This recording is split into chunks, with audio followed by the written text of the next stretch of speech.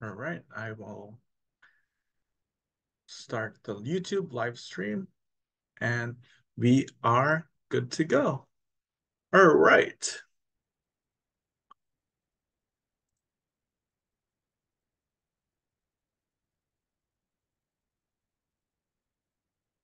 All right.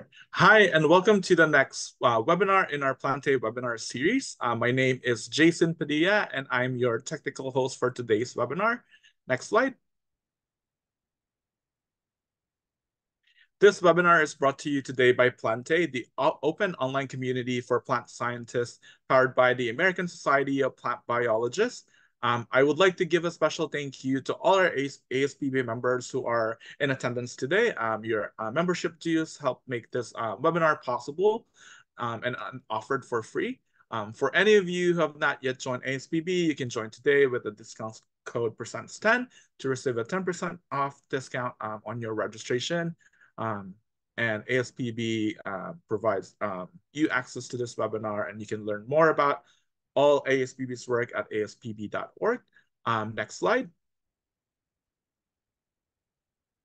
This webinar is recorded and will be made available on our uh, Plantae YouTube channel. Um, we have a lot of awesome webinars in the past. So if you're looking for really insightful, really thoughtful, and really engaging webinar, you can catch our webinar recordings on our YouTube channel. Um, so be sure to check it out. And then Next slide. Before we get started, I'd like to go over some um, housekeeping items um, to make sure that you get the most out of your experience for attending today's webinar. If you are experiencing technical difficulties, um, please let us know about those by emailing me at jpadilla at aspb.org. Um, if you have questions for our awesome guest speakers, um, you can write them in the Q&A section of the Zoom um, portal. Um, we will get those answered during our Q&A. And if you are having um, trouble connecting with um, um, with the webinar or need to leave the webinar early, as I shared, this is recorded and will be made available on our YouTube channel. So don't worry, um, you could catch this again later if you do have to leave or having technical difficulties, um, so you're you're not going to miss out. And finally, without further ado, I'm now going to turn it over to our Plantae Fellows who are facilitating today's webinar. So take it away, um, our moderators.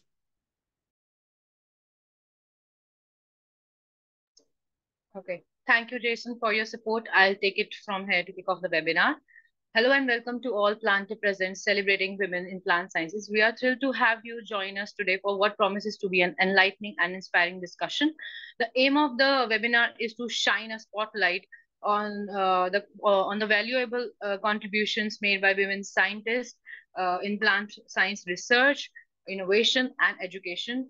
Through our insightful discussion with three distinguished women scientists and their shared experience, we aim to inspire and empower individuals from all the background to pursue career in STEM. Uh, today, we have the privilege to hear from our speakers and they will share their insights and experience in the field of plant science. I encourage all the participants to actively engage in the discussions, ask questions, and share their thoughts throughout the webinar. So uh, this webinar will be featuring three women scientists, Dr. Thelma Madzima, Dr. Burcu Alptekin, and Dr. Gitanjali Yadav. So this is the outline of today's webinar. We will be starting with talks by three scientists and followed by a 15 minutes question and answer session and then followed by the concluding remarks. Allow me to uh, uh, introduce myself. I am Prakshi, a graduate student from National Institute of Plant Genome Research 2022 Plantae Fellow. Uh, joining me are Abira Sahul, uh, Sahu, a postdoc research associate from Michigan State University. 2024 Plantae Fellow, Alice Pierce, a graduate student from University of California, Davis, 2023 Plantae Fellow, and Isabel Poche, graduate student from P Universidad Católica de Chile, 2024 uh, Plantae Fellow. So we will be moderating uh, the webinar and we will ensure the smooth flow of the webinar. So without further ado, uh, I would like to uh, start with the insightful discussion and contribution by with the women scientists. So I have the privilege to introduce Dr. Thelma Madzima. so Dr.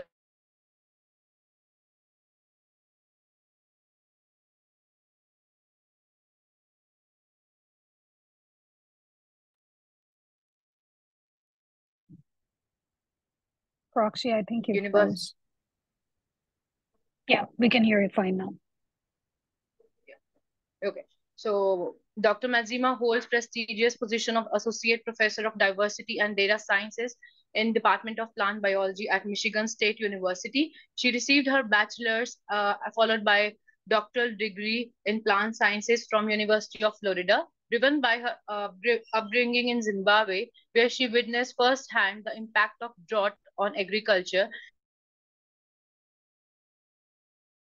Uh, her research focuses on understanding epigenetic mechanism in crop plants. Her commitment eh, to diversity and inclusion in STEM is commendable and has been recognized through various awards, including University of Washington Bothell School of STEM Inclusive Service Award and ASPB Excellence in Diversity and Inclusion Award.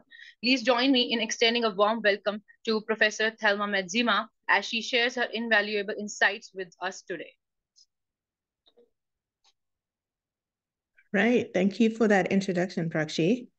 Um, it's saying I can't share my screen while you're sharing yours.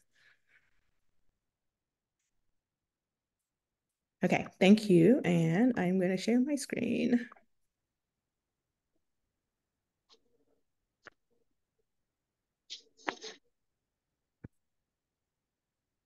Okay. All right. Um, thank you all for joining and thank you for that introduction and thank you for um, this committee for inviting me to, to give my talk today.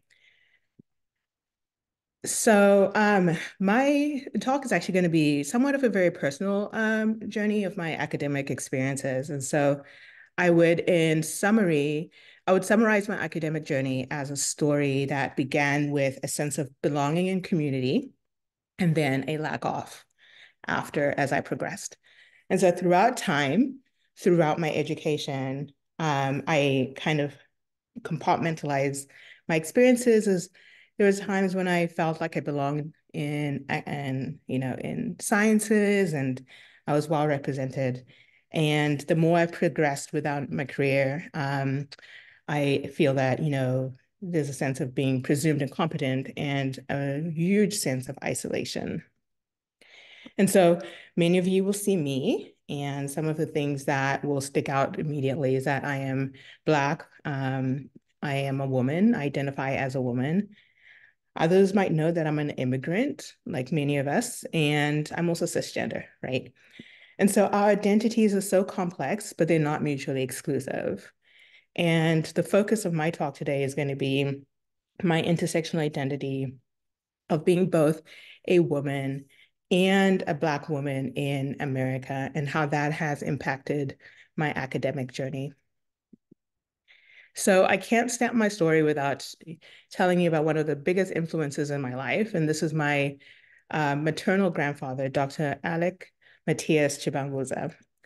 And he um, went to, he um, got his master's at Morningside College in Sioux City, Iowa, and later on received an honorary doctorate from that university for his works. And I want to highlight that he was doing his achievements, and, and, this is a picture that I found on the internet um, of a of the yearbook of one of his yearbook pictures, and so this is him highlighted here. And at the time the country of Zimbabwe was known as Southern Rhodesia. But I want to highlight that he was doing the work that he was doing in in a colonialism and apartheid type system in what was known as Southern Rhodesia. And so no matter how hard he worked, the highest level a Black man could have achieved during that time in, in his field of education would have been a teacher and a principal. And so he did reach the highest levels. But his topic of study was actually, what is quite interesting to me is equal education for the girl child, right? And again, in this time, he had two daughters and two sons. And this was a generation of time when very few people had um, opportunities for education. And usually it was the um, the male child who was sent to school while the female child was uh, the female children were kept home doing chores and everything but he defied those barriers by sending all his children to school and um, you know and they all excelled and so i used to work with him, like typing up his notes whenever he got a little bit too old. And so I feel like that's when I started learning about my advocacy for those that are marginalized and also women in academia. So really quickly, I finished my K through 12 or my primary secondary, which is equivalent to K through 12 in the US in Zimbabwe. Zimbabwe is a majority Black country. We got independent in 1980, but we were not immune to racism and, and oppression of indigenous African people because there was still the lingering effects of British colonialism. And so I went to what, you know, we would say here diverse schools, but remember this is a majority Black country. And so we were still kind of, you know, um, about one third of the student population would be uh, Black. And so this is me sitting right here in the front. But because I was in an environment where I was in a majority, I had a lot of confidence, right? And I always knew that I could succeed in science because why not? You know, doctors look like me, senior politicians look like me. And so this is a picture my family really likes because it, it shows like how cheeky I was even at such a young age. So then what did my academic journey look like? So after finishing my secondary education, I moved to the United States and I attended um, uh, undergraduate at Fort Valley State University, which is a historically Black college and university, mostly Black. And I thrived, right? And so I'm highlighting this in green because, excuse me, it was a time in my career when I was thriving, right? And I graduated summa cum laude. I had a great undergraduate mentor, Dr. Sawandia, who, whenever I doubted myself, he would say, Oh, when I said I can't do something, he would say, Why not? And if I didn't have an answer, I'd have to proceed. I also did internships at, you know, two universities. I did an internship at Caltech through the Minorities and Undergraduate Research Fellowship and the University of Florida, where they had a cohort of us from Fort Valley State University. And so the, both of those internship opportunities had community, right? Because it was they were really well designed in that regard. And it was while I was doing this internship at University of Florida that Dr. Harry Klee said to me, you should go to grad school. And so I did. And I attended graduate school at the University of Florida. And because I thought I was doing well. I was thriving really well from undergrad. And because of my academic achievements, I did receive an alumni fellowship at the University of Florida. But this was my first time as, you know, in post-secondary education at a primarily white institution. And it was the first time where um, I started feeling the sense of isolation. And I was only Black student within my program. Technically, I'm actually the only the uh, for a while, and then technically, I'm I was the first Black student to graduate um, from that program with a PhD, but you won't see that in records because I was still an international student, so I was deemed international and not Black. But my PhD advisor, including all the scientific skills that he taught me, he also taught me how to speak up and, you know, or encourage me to speak up, which is something that I was also taught by my grandfather. So finishing my graduate degree, I went to Florida State University and in the lab of Dr. Karen McGinnis. And again, I was the only Black postdoc in the department. But Karen had a really good skill of um, allowing me to pursue the DEI activities that I wanted to do because she knew how the lack of representation affected me, and I did not want that for anybody else. And also, she would also notice when I was, my performance was not consistent with my usual productivity. And those tended to be times when I was dealing with microaggressions. But one thing I always say is that Karen allowed me to be my authentic self. And that was actually really the first time in my academic journey, like since UF, that I could actually feel like I could express who I was. So after um, uh, Fort Valley State, I went to um, the University of Washington so around the time of finishing my postdoc and my first uh, few years at Washington, at University of Washington, I also became a, a permanent resident and uh, a citizen, right? And so that also kind of changed my academic trajectory as well because I was no longer an international student and now I'm Black or African American. And so I was in a tenure track professor position at the University of Washington, in which I got tenured uh, and promoted in, in 2022. Um, and so my stories, a lot of my stories are actually going to be about my experiences at the University of Washington. Um, but during this time, I, like I said, I did get tenure, and Black women make up only 2% of tenured faculty in the United States. And let that sink in, just 2% of tenured faculty in the United States are Black women. And we're considering all degree fields right here, right? So we're talking about social sciences and, you know, um, business and whatever. So, you know, in the plant sciences, it's actually much, much, much, much lower. And of course, I wouldn't have, my experiences were not so great at UW. And so I did move to Michigan State University, where I've been since mid-January of this year. And so nothing I'll be talking about was really associated with um, Michigan State University because I just recently joined here. So I don't have time to talk about my research program, but um, I just wanted to put in a plug here for my website for you to visit whenever you get a chance. And the overarching goal of my research program is to understand how epigenetic mechanisms facilitate growth, development, and response to abiotic stress in crop plants. And I will be hiring soon. I was hoping by now, but um, and then ads are not yet out. But please check back on the website and see how I apply. And please um, don't do that via email, just um, do by the formal application process. So what kind of obstacles and challenges does one face when you are in essence a unicorn, right? Part of like a 2%. One of the main challenges are microaggressions, right? Um, as a grad student, I was told you only got that fellowship because you're Black, right? Regardless of my um, SAT scores, my GPA, etc.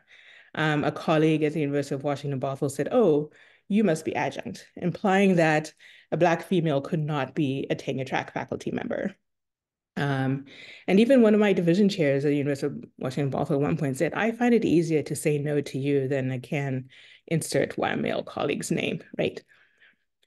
Um, and, you know, this is another form of microaggression that we deal with. So when I saw this website at the University of Washington Bothell, I sent a letter to the dean and the chairs, and I said, subject of the email was, are there too many, and I used the word two on purpose, the letter, the number two on purpose, are there too many Black females, female professors in our School of STEM? Because as you see here, this is a profile of my picture um, with somebody else's name. And yes, there were only two of us in the School of STEM, and you know they couldn't even identify us apart. And it doesn't matter how many Smiths they are, how many Changs they are, um, they will be able to identify those apart. But when it came to Black women, um, we are not distinguishable. So some of the other experiences that I had when I was uh, assistant professor. Uh, I had higher teaching loads amongst tenure track faculty in my division, lack of research space, higher service load, lower pay.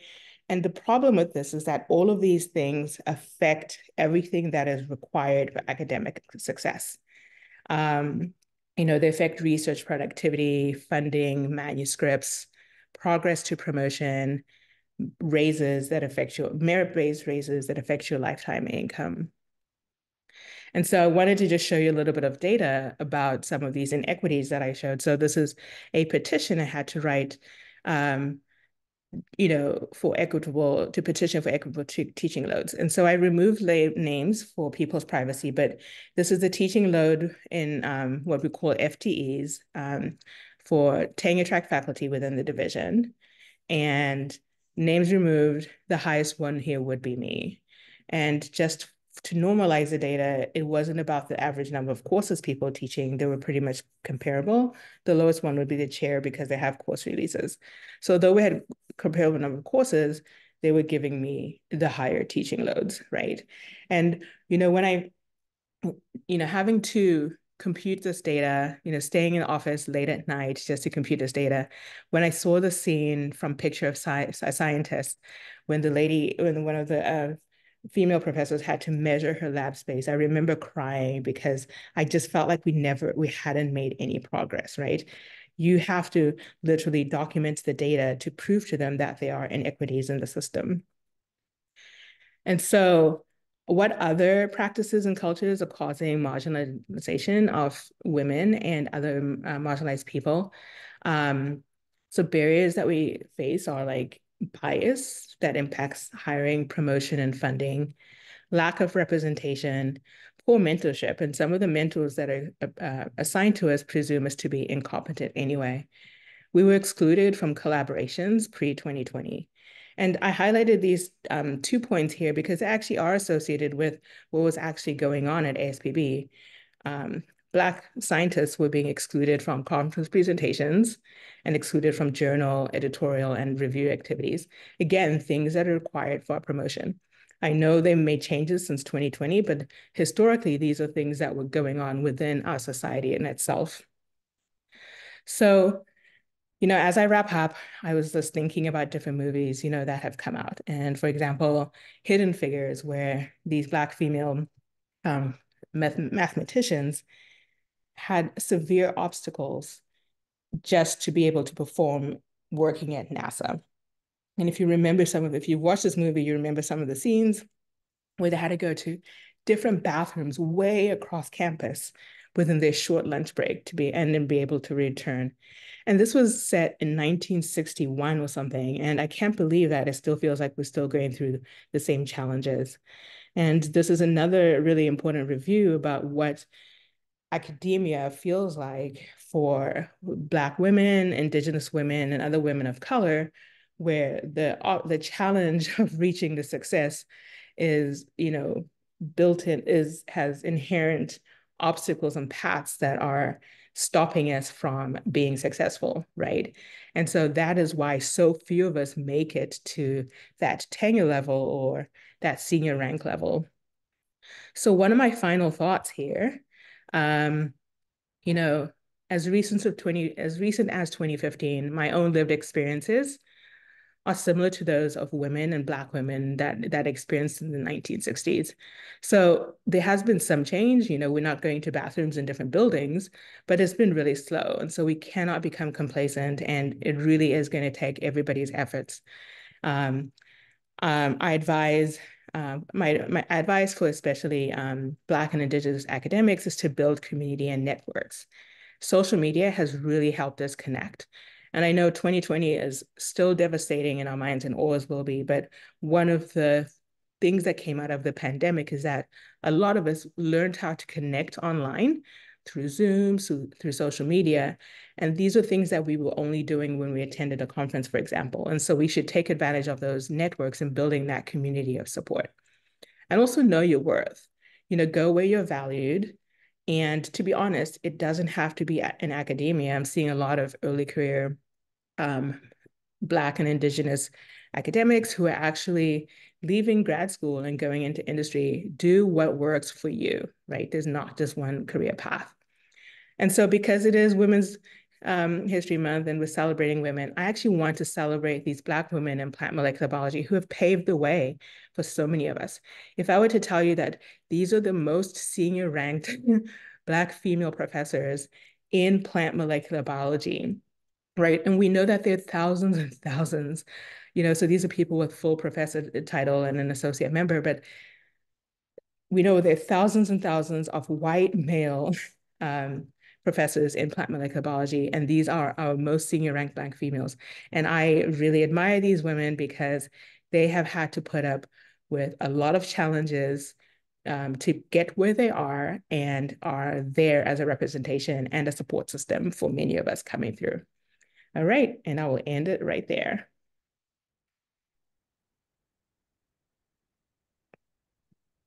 Thank you very much, Dr. Madzima. That was a great talk, very enlightening. Um, with that, we will move to our second speaker uh, for this webinar. Uh, I'm very glad to introduce Dr. Burcu Alptekin. She is a postdoctoral research associate at uh, the University of Wisconsin-Madison. She is originally from Istanbul, Turkey, where she got her bachelor's degree Uh, and then in 2016, she moved to the US to pursue graduate school, where she received her PhD in plant genetics from Montana State University in 2020. She uh, works on improvement of abiotic stress tolerance of modern day crops through omics, molecular genetics, and beneficial plant microbe interactions. She is a first generation international woman in science, and she is committed to increasing the representation of women in plant science, along with her various DEI related activities at University of Wisconsin-Madison. She is also an early career representative at the Women in Plant Science Committee at ASPB. Uh, with that, uh, take it away, Dr. Alptekin. The stage is yours. Thank you. Um, let me share my screen.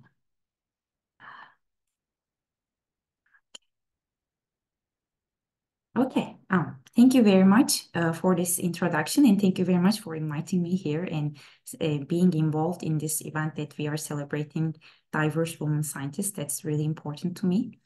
So today I want to um, start my talk by introducing you this success, this iceberg illusion. Maybe some of you are familiar with this, maybe not. What is it essentially means that success is an iceberg. So when we look at someone, when we look at their CVs, when we look at their like achievements, their papers, what we see is the tip of the iceberg. But there is also a hidden part of the iceberg maybe they like did a lot of experiments, they failed and like they put a lot of hard work. But today I actually want to tell you that the hidden part of the iceberg is actually more complicated. And I often think about my own iceberg. At the tip, I look like a plant biologist and molecular geneticist. But at the hidden part of the iceberg, I'm a first generation international woman in science. And my early experiences in life and being a first generation and being a woman in science really uh, affects the, the tip of the success and what it looks like. Uh, maybe it's not have to be like that for everyone, but I think generally our initial conditionings in life and where we come from really affects what the top looks like. And today I will mostly talk about the hidden part of my journey. But before jumping into that, I want to briefly mention my about my research.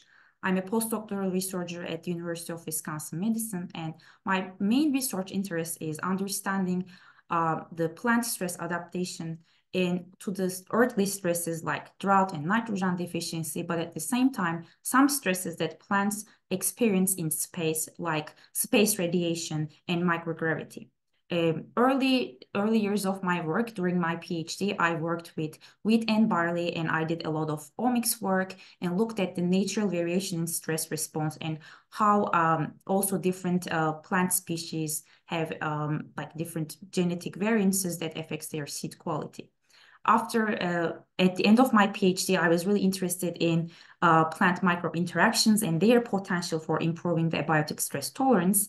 Then I moved to University of Wisconsin-Madison um, to learn about plant microbe interactions. And at there, I had uh, multiple different um, opportunities to look at the association of abiotic stress tolerance and the pl uh, beneficial plant microbe interactions. And my research is funded by different agencies, like coming from the commodity grant, Montana Wheat and Barley, to the NASA grants. And if you want to learn more about my research, you can check my Google Scholar. And um, if you want to learn about my postdoctoral work, which is currently not published, you can also uh, email me or message me from Twitter. But today I want to talk to you about the hidden part of this journey. So I cannot talk about the hidden part of my journey without talking about how I become a scientist and my where I come from.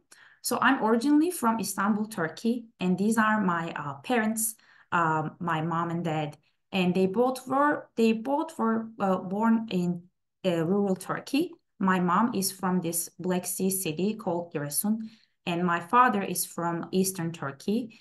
Um, and um, their experience of born and mostly being raised in rural Turkey really shaped their ability to be able to um, get educated, to have access to education. So both of my parents did not have any college education. Not only that, um, they didn't even have any high school education. And my mom, for instance, after elementary school, she didn't have a chance to go to um, school because there was no school in her village for girls after elementary school. So growing up, um, I didn't have anyone around me who had um, who didn't have a who had an education after middle school, and this also includes my um, extended family, like including my aunts and uh, uncles. And I heard a lot of stories about how it is important to be able to go to school and how I should appreciate the opportunity that I have to be just uh, get educated. And early on, I um, I was able to um, show some signs of being a scientist. I was a very curious little kid. Um, and I like starting from middle school when I started learning about the cells, the biology, I really, really liked molecular biology and I wanted to be a scientist. However, I really had no idea uh, about what the path for being a scientist looked like. So I can say that as a first generation student, of course, there are a lot of other challenges like isolation, um, like um, like isolation. But I think my biggest challenge was not being able to know where I want to get, uh, like how I want to get where I want to get, and not knowing not knowing the path. Um, and uh, this, of course, caused a lot of struggles. Um, but uh, I think I want to acknowledge that I was also lucky. Um, I was um, I was I was at, at the right place at the right time, I think, and that really helped my journey, although this is not an ideal situation. Um, when um, in Turkey, we have university entrance exams, so I was able to do well in these exams and got into Istanbul Technical University, which is a uh, a good university in Turkey, and it's a public university, so I didn't have to pay anything to college education. And if I had to, I don't know if I would be able to stand here today. So I was really lucky to be able to do well in the exam and get into the program that I want. Um, so as I mentioned, like just being a first generation college graduate and not being able to have any exposure to um, science as a kid, although I really wanted to, I really care about helping others to find the path that they want to go and finding an entrance to science. And I think outreach for that is really important. And as a scientist, I really try to take different opportunities to be involved in scientist in science outreach. And this is not only important for increasing the um, increasing the awareness about science, but it's also important to be able to uh, resource for people like little me who really wanted to be a scientist but had no idea how to do that. And I just wanted to um, provide you some resources if you want to be involved in science outreach.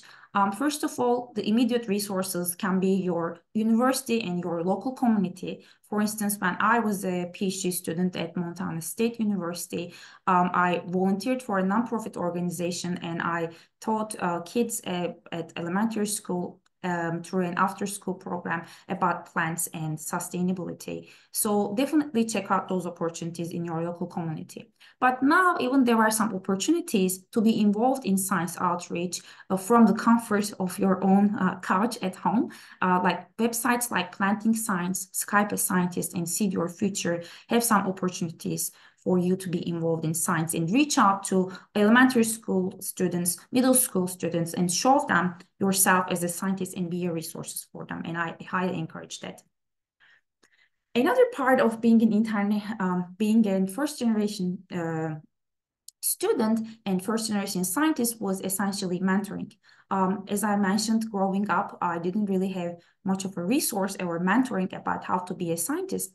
And even in my undergraduate education in Turkey, I found that um, I found it hard to get some mentoring because the teaching load of our um, professors were really high. So it was really hard to get some mentoring from our student, uh, our um, professors. And in my um, practice today, I, I try to be a resource for, ment for my mentees and I encourage everyone to talk to talk to different people, undergraduates, uh, about their experience of being a scientist, but not only just like the things in, in, the lab, but how they become a scientist. Because even in here at University of Wisconsin Madison, I found out that um, many of the students do not know what a path to be a scientist looks like. What does it mean to be, get a PhD or what does it mean to be a postdoc? And that being said, I also want to uh, show this other resource to you, the Plantae mentoring uh, site. Um, and you can reach it through this link. And this is a great place if you want to be both a mentee or a mentor. Um, so if you're looking for a job or anything, you can find a mentor from this website for yourself. But let's say you're a graduate student and you want to be a resource for people um, like maybe undergraduates or high school students, you can uh, still sign up here as a mentor and be a resource for others. So another hidden part of my um, iceberg is being a woman in, in science. And um, I want to show you that the gender gap in STEM fields is is still is still exists and it is still a big problem because when I talk about uh, women in science issues, I start hearing that oh we made progress. Yes, maybe we did progress, but there is still a lot of space for progress. And this data shows you here that um, despite that, like almost 50% of the US workforce is women now, the STEM workers uh, only count for the 27th, uh, the woman part of STEM workers is only 27%. And if you look at this graph here, maybe you can say that, oh, like in biology, the woman and uh, woman scientists uh, compose 50% of the scientists.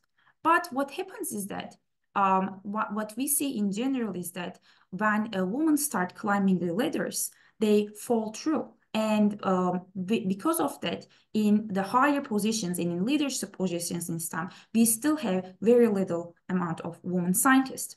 And the main reason for this, uh, I believe, is that uh, is the, the, the dilemma that women face between having a child and pursuing a career.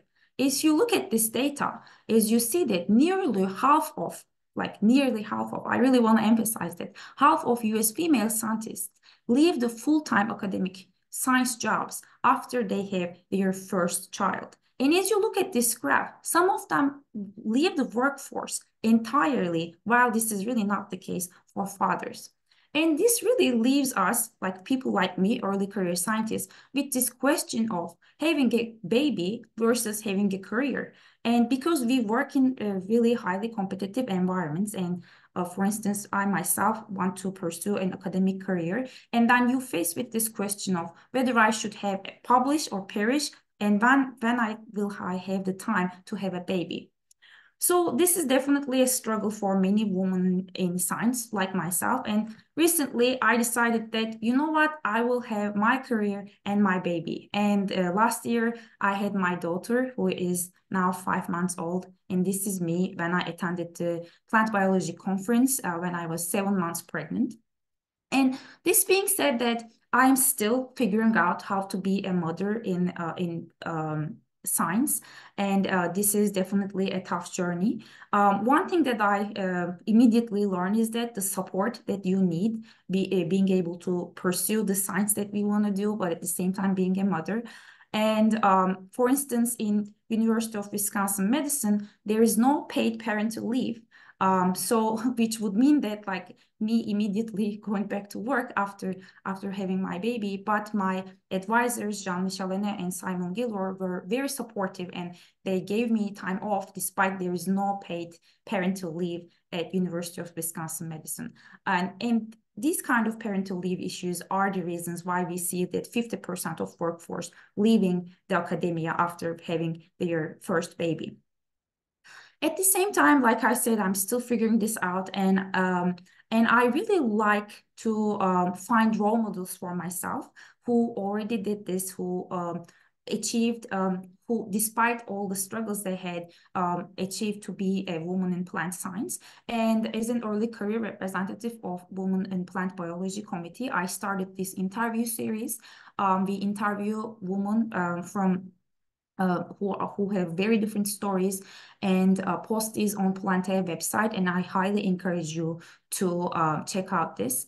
And if you have any woman in plant scientist that uh, would like to see interviewed, please email me and I will try to address that.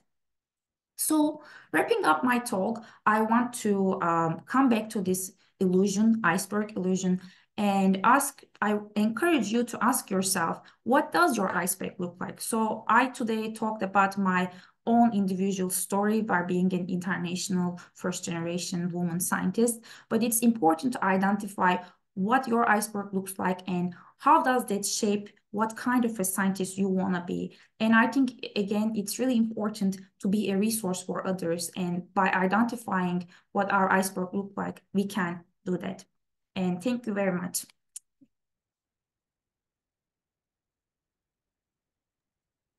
Thank you so much, Dr. Alptekin, for being here and sharing your story with us and all of your insights. Um, that was a great presentation. Thank you. Uh, so now it is a great privilege for me today to introduce Dr. Gitanjali Yadav. Uh, Dr. Yadav is a scientist at the National Institute of Plant Genome Research in New Delhi and a professor of data science at the Indian Institute of Science, Education and Research in Bhopal, India. She is an expert in AI for genomics with applications in food security and conservation. Dr. Yadav is trustee of St. Edmund's College at the University of Cambridge and co-chairs the International Data Policy Committee. She's a strong advocate of open notebook science and has, has been recognized globally for her work and has achieved uh, recognitions such as the INSA Medal, the Obaid Siddiqi Life Science Award, the Yusuf Hamied Award for, from Cambridge, and Exceptional Talent Award from the Royal Society of London. Uh, thank you so much for being with us, Dr. Yadav, and please join me in welcoming her. Take it away. Thank you so much. Thank you, uh, Alice. Springtime greetings to everybody who is tuning in to this channel tonight, today, this morning, wherever you are in the world. At the outset, I take this opportunity to congratulate and compliment the young fellows of Plantae who are hosting this event. Thank you so much for celebrating women in plant science. I think that's it's high time we did that again and again. So just a minute. Do you see full screen for me? I suppose. I suppose you do. Yeah, so women in plant science, we form a huge global sisterhood. And I have been a female plant scientist for about 19 years now, 19 years completing next week. And what I find is that across the globe, regardless of of borders of nationality, discipline, um, you know, institution, and any kind of culture, regardless of age, regardless of career stage, our challenges are so common. Interestingly, the strengths that we have, the way we overcome these challenges are also common between all of us, but we won't know it. We won't know it unless we share experiences, increase our connections, and build strong platforms like yourself right here at Plantae for sustained support. And so, thank you once again. I have designed my slides today to go back and forth between my research and my journey. My, my current research focuses on two major themes.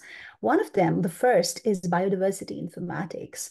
This is where we are trying to decipher the silent language of plants, or rather the, the variable chemical code that, um, that plants use to communicate with each other and with the entire biosphere all of life as we know it is complex chemistry in a semi-permeable bag. This was said by Mark Hunter, and I've taken it to heart. I mean, I, I believe it beyond anything else. And this work, the work that I'm doing is important for conservation because my focus or the research focus of my lab is on invasive alien plant species that pose a huge threat to biology, a, a huge threat to biodiversity, essentially. My interest in biodiversity began at a very early stage. I was growing up, and of course, I had no expectation or anticipation or knowledge of being or becoming a scientist one day. I was born at the military headquarters of war. My dad was constantly traveling, and I grew up constantly traveling, often living in distant small towns, mostly in the seven sister states of um, northeastern India, which is one of the major world's biodiversity hotspots. And being there gave me two opportunities. One was to explore nature. As you can see, I have spent countless hours in the sacred forests of India. And the second opportunity that I got was to discover my love for reading. Of course, we did not have the www in those days. God Almighty Google and was not there with us, but we had libraries. I loved the adventures of Huckleberry Finn, but I also loved the adventures of Mendel, of Darwin, of Marie Curie. And I did not know, even though I did not know at that time that I could be a scientist myself, I was quite moved by by the stories of some scientists you know and their adventures. Like how newton for example felt about light transforming into matter. Um, I, I remember crying weeping for several nights for the death of the poor french chemist lavoisier. What the world lost because he was killed at the guillotine uh, there was there was a time when I was thinking about, you know, the, the whole story of the Russian Soviet botanist Vavilov, his crop gene bank had been saved. That's why we have, you know, we have agriculture being so good today. But at that time, that was the guy, Vavilov, that great man himself tragically died of the one thing that he spent his entire life trying to prevent starvation. He died of starvation, but he didn't let anything happen to the crop gene bank. And that is available to us to use today. I mean, these are these were adventures, these were inspirations that I had when I was growing up. But I need to definitely mention here that I did not find a lot of stories or inspirations, or I couldn't find a lot of books on female scientists in the world, leave alone, I mean, leave alone plant female scientists or anyone of my own ethnicity. That is an even smaller number, as you've heard both Thelma and Burcu talk about. So, you know, to be frank, it's not easy to find women in plant science, to find women in science, women in STEM anyway, leave alone their color roles. So I think the invisibility that we have is also because of something that the world has tagged, quote unquote, as the Matilda effect, that there is, the world is trying to make you invisible, but you yourself also do not want to become visible, right? And the only way to change the situation is to tell or share these stories.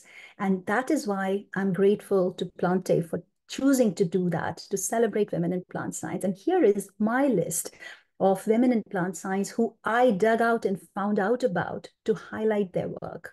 Did you know about the seven Dutch ladies whose research after the World War I provided vital information about the Dutch elm disease? We know the disease, but we don't know the ladies behind its discovery. Do you know about the lichen experiments of Beatrix Potter? I hope, I'm sure many of you do know, but whatever you do know is not enough. You should read her autobiography.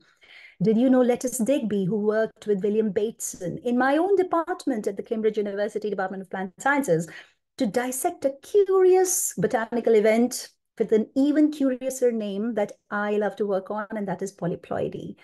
We need to continue to tell their stories. We need to continue to tell our stories. And well, that brings me to my other research interest, my second research interest is in understanding how nature has evolved and optimized mechanisms to enhance photosynthetic efficiency, collectively called the carbon concentrating mechanism. And this little guy you see on the street, this huge beast is the unicellular green alga, Chlamydomonas reinhardtii.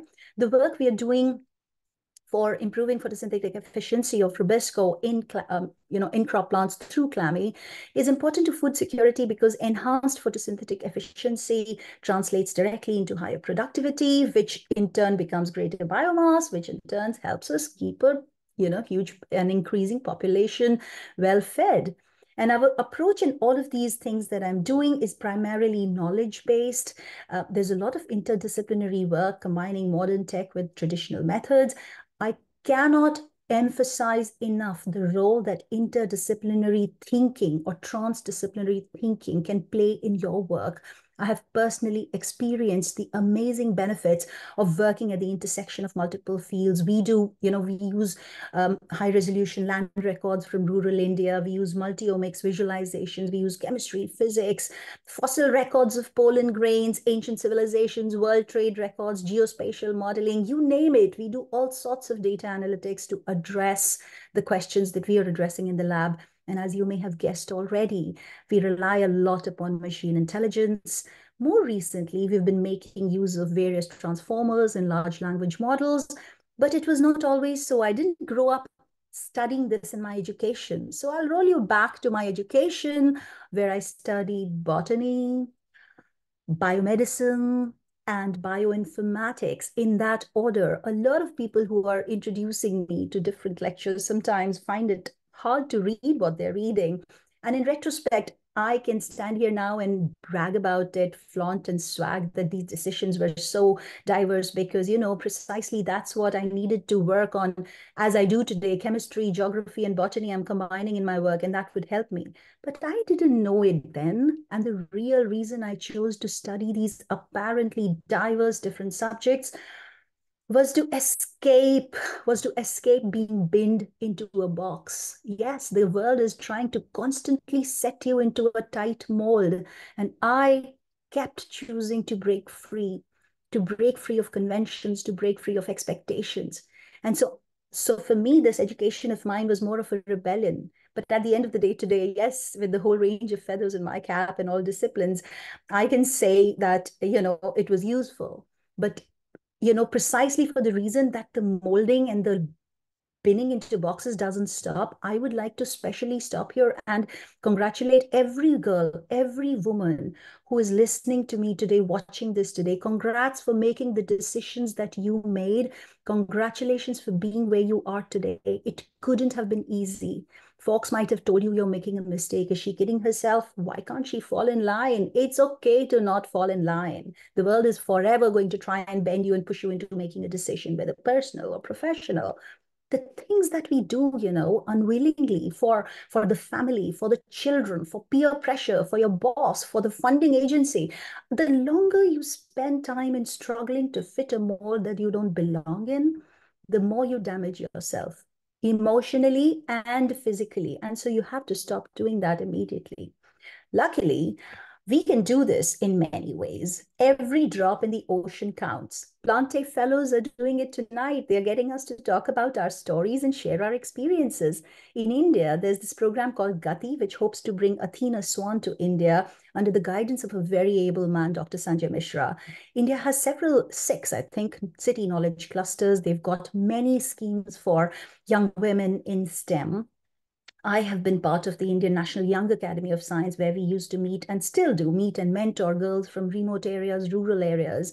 I have co founded Semantic Climate with my colleague, friend, and mentor, Peter Murray Rust at the University of Cambridge. We are a huge global science, citizen science movement, and we are simply trying to bring climate action to your doorstep click on the QR code you see on the screen and you can join the Semantic Climate Collective. Our premise is that every school kid, every senior citizen, every local councillor, everybody, farmers, should know how to mediate climate action.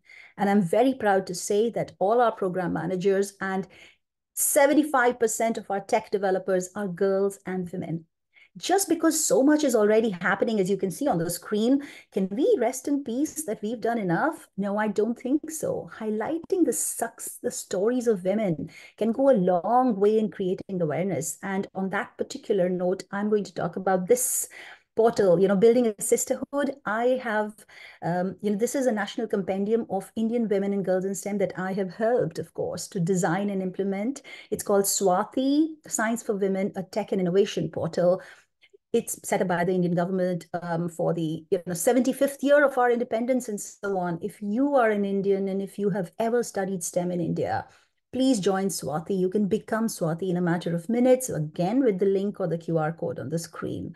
So I'm going to basically close here, but no, not yet. I'm going to ask you, are you the only girl in the room wherever you are? well not on my watch and if there's one thing i can tell my my own if i can go back in time and tell something to my future my past self i would say if you're the only girl in the room there's something wrong with the room. If you're the only girl on the table there's something wrong with the table. Let's fix it. Let's bring in others. Let's collectively help each other and go ahead and do things together. I intend i make it an intention to do so. So there's so much I want, to, I know I have to close now, and there's so much to discuss. Burcu and um, Thelma has have already led a, you know, put aside, shown us so many challenges that are faced by women in science today. And yet there is so much that remains undiscussed, untalked about. A lot of people, particularly women, have you noticed, they will struggle to ask for help. And I think the reason women struggle to ask for help is because it requires flexing of two specific muscles. And those two specific muscles, women don't use very often. What are those two muscles? One is acknowledging your vulnerability. We are not in the practice of failing publicly, and so we don't want to acknowledge that we are vulnerable. And the second muscle that you have is the responsibility aspect. You feel you're imposing on the other person. Oh, she's got, oh, they've got so much on their plate. How can I ask them to help me in addition? Even before you get to asking someone for help, you talk yourself out of it, madam. What you don't realize is that you're depriving somebody else from helping you.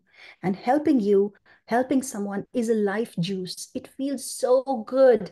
Let me help you. There might be somebody else willing to help you. People might be willing and ready to help you. Allow them. Don't talk yourself out of it, okay? I have listed a few other themes here that women don't usually talk about. I think we don't know how to talk about these things, or maybe we are increasingly afraid to talk about anything. So my message here and my message to Plantae is let's have more informal discussions, more fearless discussions, and more interviews. We're good good about that. How do we manage career hopelessness? How to know when it's not your mess to fix? Let's just stop trying to fix everything. How to manage the negativity bias. When you hear 10 good things about yourself and one little bad thing, which one do you remember? You remember that little bad thing because it's so easy to fall into that trap. So, my parting message to all of the girls and women listening to us today is that you've got to make it intentional and a positive you know you've got to make it intentional to to listen to good things about yourself. I've written it down on this slide right here. Read it do it ingest it okay course, you need to stop apologizing. That's another thing women do. You enter a room two minutes late, you will say sorry. The door bangs a little bit harder, you'll say sorry. For no reason at all, if the chair creaks, you'll say sorry. Stop apologizing for yourself. You don't need to do that. Thank you for having me join this panel. It's it's the part that I enjoyed most was wondering what to talk about to all of you and what I might say to you tonight. So please do feel free to get in touch if you want to. Um, I'm here and I want to help and I don't mind. Okay. Um, so don't talk yourself out of it. Thank you very much.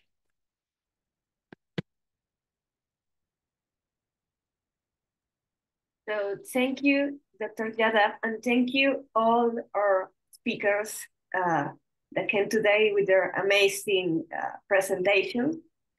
Now we will have the Q&A session. Uh, before that, uh, let me introduce myself. I am Isabel Pochet, and I will moderate this session. So remember, if you have any question, you can use the Q&A uh, box in the Zoom app. Uh, you can leave there the questions, and we will read the questions for the uh, speakers, right? So to start, I have some uh, I have already some questions that uh, I would like to ask uh, to all our speakers, right?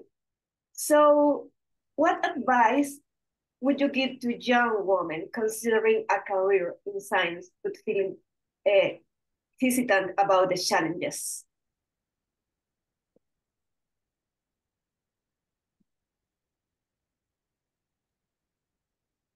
I think. Oh, okay, go ahead. Go ahead. Okay.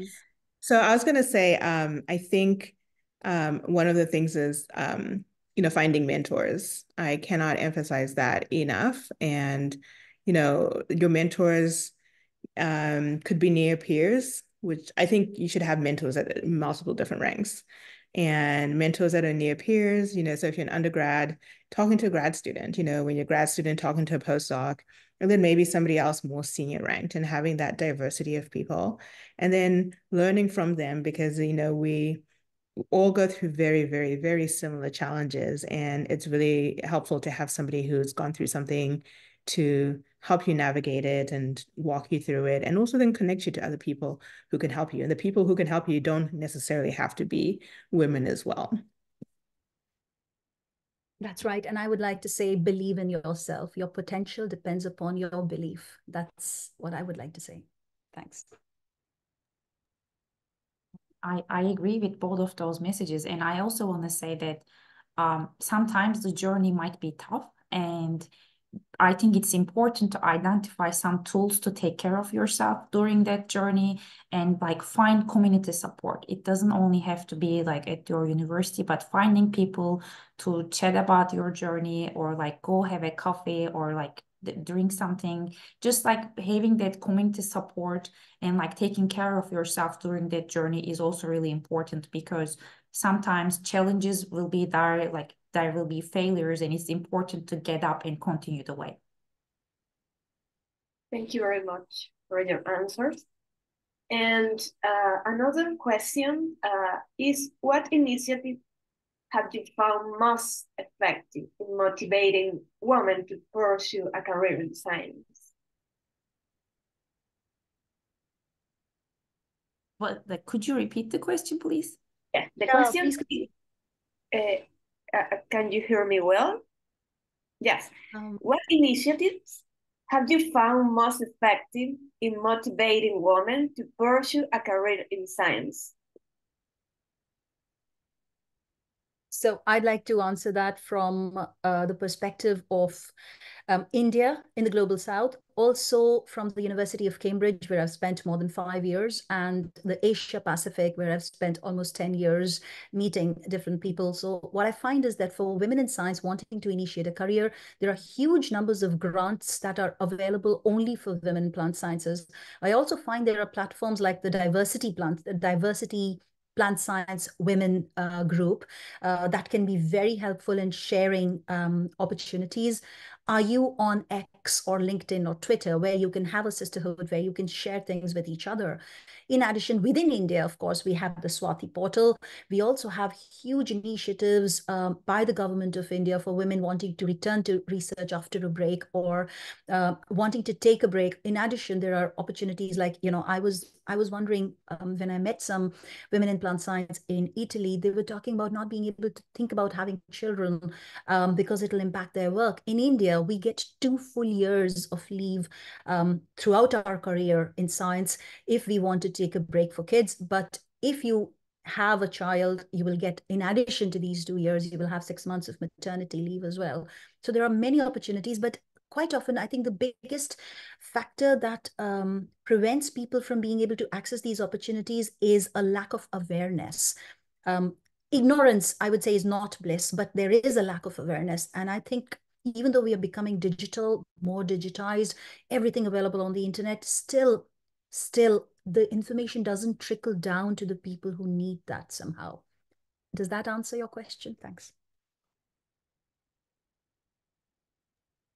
Um, I think um, like I, it's really great to hear that there are some countries that has two-year parental leave. That definitely doesn't exist in the United States. Um, I want to say that for me in my career, actually finding societies was really helpful um, because sometimes maybe your mentors like or the universities that you are in might not have the resources that you need, but there are some good societies like this one, but there are also some other societies that provide professional development resources. Um, and looking for those is really important. That being said, also I agree that there is a um, the tools that the, even the societies have are not advertised well. So I think that's our job to be able to tell our students or share with other other groups like that these tools are available and uh, they can serve them. So I think it's important to make the tools available because I think there are some tools out there, um, but we should make it more available. And should I should I Sorry? Are we out of time? Should I chime in? Yes, please. Okay. So I feel like with any type of initiative, um, it's really important that the initiative is actually catered to the group that you are intending to serve, right? And and one of the things that we fail to do, um, a lot of programs fail to do is actually survey the needs of the people you're trying to help, right? So the challenges that women face are not going to be the same you know challenges based on demographic groups right within a group like uh, issues facing black women are not the uh, same as issues that are being faced by other women of overrepresented groups in STEM, right? And so you have to understand the needs of those people. And sometimes you actually have to build your own programs. You have to build your own networks. And again, when you go to X or Twitter, um, you know, those type of resources really, really help. And I also think that initiatives that are also very successful is when you actually have more representation, right? You know, for example, um, you know, you know, when programs are designed, if it's nine out of 10 people in the room are male, then we're not going to address the issues that women need. So, you know, sometimes we do need more people um, of that group in a room to have a diversity of ideas. And then we're able to um, make those uh, initiatives more, um, more successful. Thank you. And lastly, we have one last question that I would like to ask myself this question because for me it's very important. And you have been discussing this topic uh, during the webinar. And it's about, apart from maternity leave, what else can institutions do to support uh, mothers in science? Because I, I consider that uh, motherhood have a big impact in our careers as a woman, as well, uh, Dr. I think Alekin uh, talked uh, about that. What apart from the maternity leave, uh, uh, what other initiatives or benefits can we as the institution to uh, to give to mother working on STEAM? Oh. I'm not a mother, but um, you know, I've seen, you know, having worked with colleagues who are, and you realize how much of academia is um, you know, not supportive of the family unit, for example, right? Like having your department seminar series talk at 4 p.m. or 5 p.m., having um, you know, important dinners, um, you know, networking events that happen after hours and some parents have to go and pick up kids. So I think, you know, maybe having a midday seminar series, for example, like adjusting the work schedule in which everybody can be included and thinking about that and not thinking that, oh, everybody has this flexibility that we can hang out and go out for drinks. And because to be honest, this is true in academia and in business, right? Um, a lot of connections, a lot of deals, a lot of opportunities happen when people are having drinks or after hours and stuff. And and so it sets a lot of people back if you don't participate in those activities. So rescheduling those type of opportunities is important.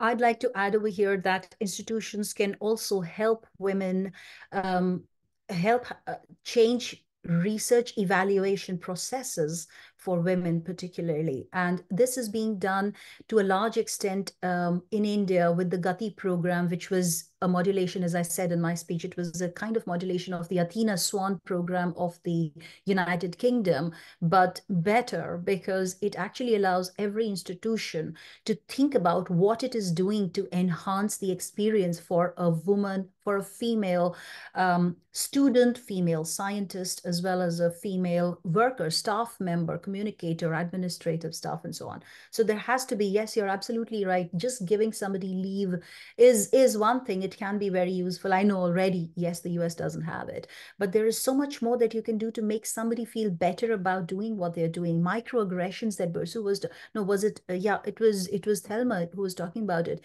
You know, making sure that a, an environment, an enabling environment is created where such microaggressions are noted and not uh, appreciated or collectively, you know, talked about. And i think that's that's what institutions can do and that individuals can it has to be collectives who do that. So more platforms create platforms for us to talk to each other freely um, you know unhurriedly and have conversations. These are very important. Thanks. Um, i also want to add um, a few things that i i recently became a mother and um, there are also some like practical issues like having a proper lactation room for a mother who wants to breastfeed, like maybe having some um, free parking near where their building is uh, when they are pregnant. Like these are some really important things. And most importantly, childcare. Like childcare is the reason why many women scientists leave academia because childcare in the United States is really expensive. And um, for instance, me as a postdoctoral researcher, like it, it's it's hard to afford the childcare. So like having more accessible childcare for graduate students and early career researchers is really important. On the top of that, when it comes to again childcare, like um, recently, like being a mother, I realized that like my ability to be able to attend conferences immediately decreased because now I have a baby and uh, someone has to take care of her. So like the conferences uh, should provide a space for women um, like a childcare space so they maybe can travel together and they can put their child in the childcare and they can attend the conference because this is really important for especially early career scientists. That being said, also providing some maybe travel grants for women to travel with their child because that's another important thing right like maybe we can get some money from the university from the grants to travel ourselves but then we also have to buy a ticket for our child and and afford the childcare so these are just some practical issues but overall like providing a space for women to ex to exist as a mother i think is important because even in some of the practical issues that there are some practical issues that I see like before even coming to like the isolation that you feel as a mother um, or the microaggressions. So yeah. Thank you very much to uh, for your answers, and uh, we are uh, on time to finish uh, this uh, webinar. Thank you very much to all our speakers, uh, to our moderators, and to Plantae to provide this platform to discuss uh, these very important topics that uh, should be uh, interesting for everybody. So be sure to follow the next Plantae webinars information that Plantae will be posting on the social media. And uh, thank you very much, much to everyone who asked questions. So thank you we, all. Goodbye. I can hear you, Jason. Thank yeah, you yeah. Thank you very much for joining us today. It's been such an insightful webinar, um, and thank you um, for our attendees and above all to our speaker. It's been a great space to celebrate phenomenal women in plant biology and as Isabel said, we hope that we could catch you at our next webinar series. With that, I hope you guys have a wonderful weekend and we'll see you on the next one. Bye, everyone. Bye. Thanks.